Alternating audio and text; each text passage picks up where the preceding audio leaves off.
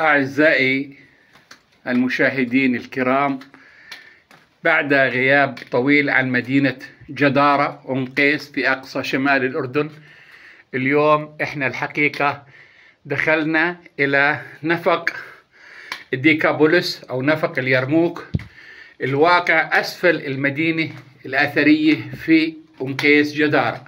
هذا النفق يعتبر درة السياحة الثقافية والجيولوجية والأثرية الموجودة في منطقة شمال الأردن. يبدأ هذا النفق البالغ طوله عند إنشائه حوالي 160 كيلو متر ويبدأ من مناطق في جنوب سوريا في محافظة درعا وينتهي في مدينة جدارة أم قيس.